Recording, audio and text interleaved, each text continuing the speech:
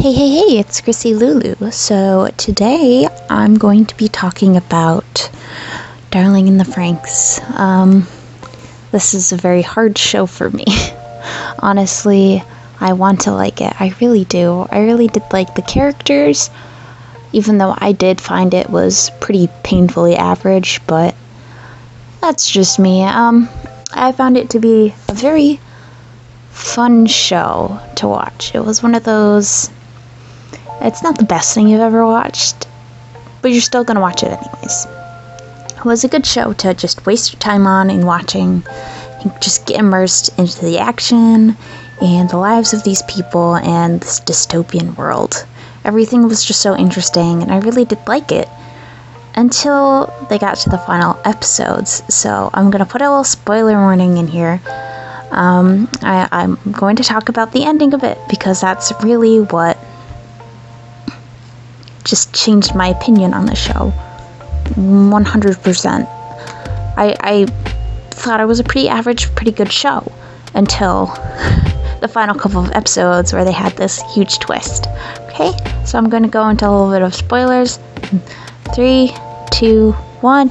If you don't want to listen to this, you can mute me or whatever. But yeah, so pretty much they bring in the aliens, and it's just too much of a stretch, I felt. It was just too much of a jump.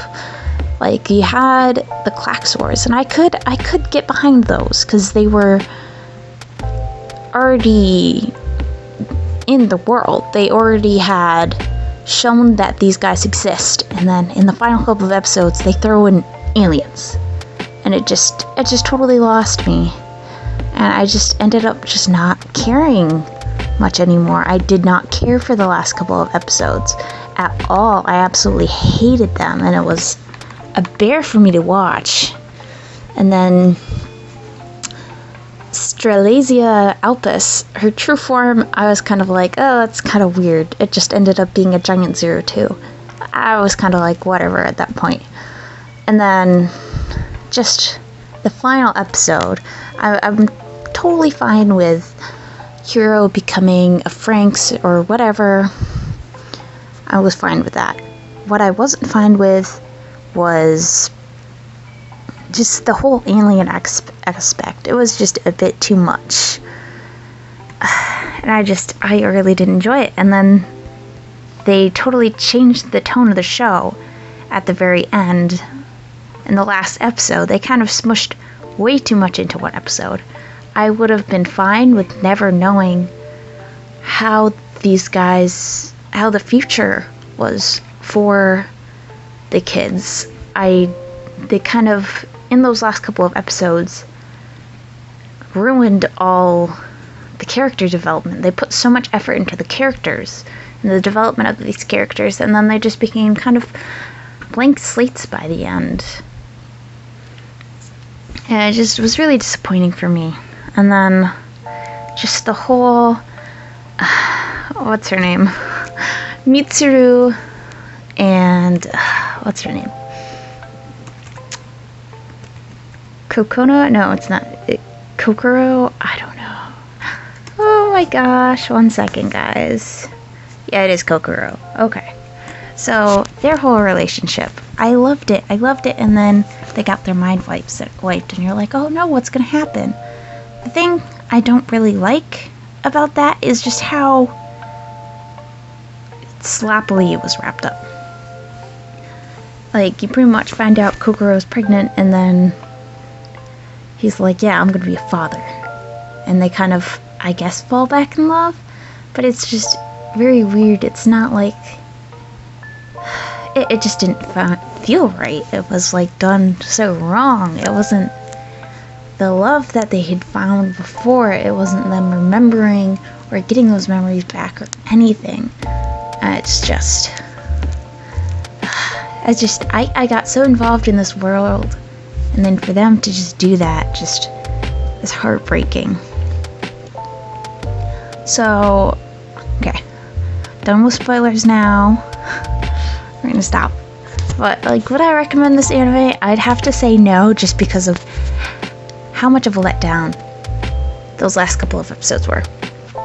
and it's just it's so sad. It's just it could have been it could have been great. It's just very frustrating to just even think about.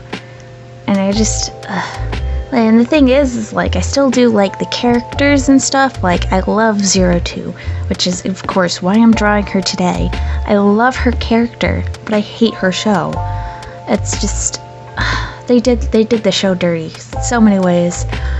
I, I am so tempted to buy like Zero Two's Nendoroid, but I I do not want to put money towards something that I didn't fully enjoy.